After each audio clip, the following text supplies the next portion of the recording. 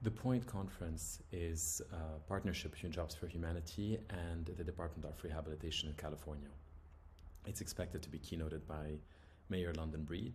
We'll have the actual confirmation just two weeks before, but so far that's the indication. It'll take place on February 28th, and we're going to be inviting 250 recruiters in the Bay Area, 250 job seekers, and 100 community organizations.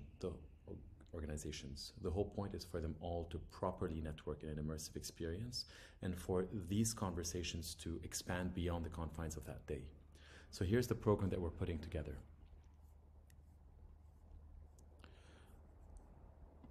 Mayor Breed sharing the vision of San Francisco once we all unite as recruiters, job seekers, community organizations. What's our potential? What's the vision? Followed by Dr. Stephen Jones, who is the first African American ordained monk in Thailand, exceptional orator who's going to give us a 30 to 45 minute session on inclusive leadership as a skill set. Then we're going to invite our top 10, 12 community organizations in the Bay Area to come and introduce themselves for three minutes each. One, for example, works with the homeless and provides shelter. One works with employers in order to offer tax credits. One works with um, job seekers and employers in, in order to give upskilling or language support. One offers legal support, and so, so on and so forth. After that, we'll break for lunch, but each organization is going to have a table at lunch so that whoever is interested in meeting them and having a deeper connection with them for the ensuing hour during lunch can have a much deeper conversation there. I'm going to encourage everyone to bring lots of business cards.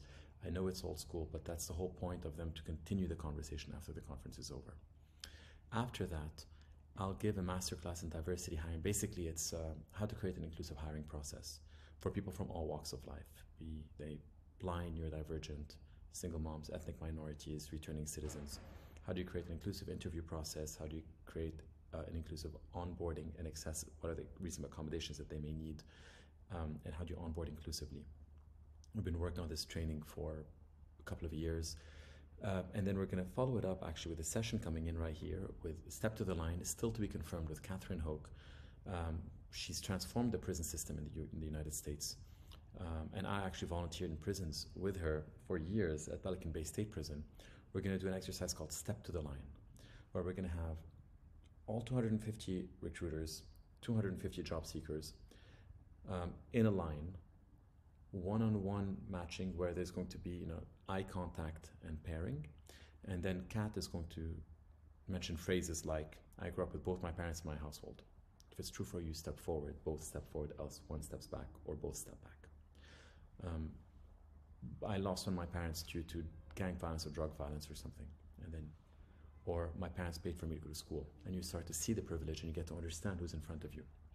We'll follow that up with one on one coaching between job seekers and um, recruiters in order to um, for job seekers to share their stories properly and really build a relationship.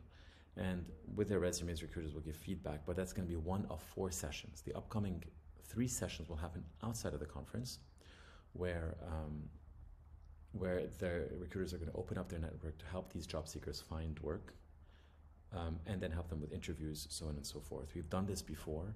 Uh, we did this in a pilot with uh, 20 recruiters at booking.com, 21 recruiters, paired them with 42 Ukrainian refugees. Among the 42, 13 got jobs and 22 more got interviews, so it was super successful. We'd love to do it again. Then we're going to close it with um, what success looks like with Ken Oliver, uh, Rebecca Carr, and most likely aiming to get the CEO at Checkr. So Checkr is a unicorn worth about four or five billion dollars. Shut up real quick, but what people don't know is that 5% of the workforce are returning citizens and in all areas of the business and have really grown it properly. So this is to show that this can happen and it can be successful by an org company that's right next to you. So that's the day's uh, worth of content and then afterwards networking for continuing conversations and relationships, all on February 28th.